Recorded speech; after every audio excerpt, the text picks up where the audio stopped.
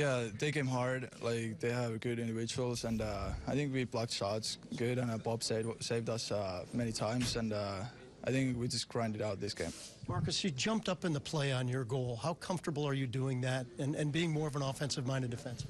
Um, yeah, of course, uh, I want to always join the rush, and uh, and I saw Panarin had the puck, so I had to just get a free lane, and uh, the puck was in my plate. That's two in the last three games for you. Are you starting to become a goal scorer? Uh, I don't think so. It's just yeah, I like to score, but uh, yeah, the play just just comes right now. The last few minutes of the game, you're killing a penalty. It's six on five. Just talk about how you handle that pressure as a defensive unit.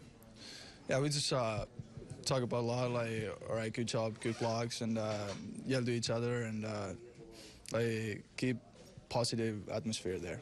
Speaking of positive atmospheres, you guys have won nine in a row. It sounded pretty pretty good in here afterwards. Just what was the room like afterwards? Uh, actually, pretty quiet.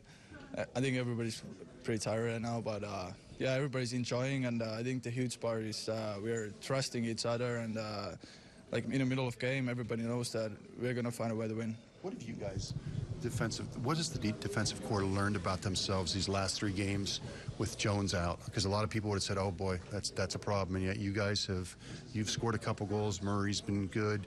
It seems like the entire defensive corps has played well.